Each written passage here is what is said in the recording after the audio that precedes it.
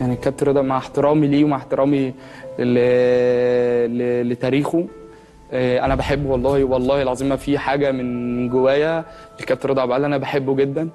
بس أنا زي ما هو طلع يتكلم عليا عادي أنا قلت عليه هجاص هو فعلا هجاص. بس هو محلل ونجم كروي كبير و...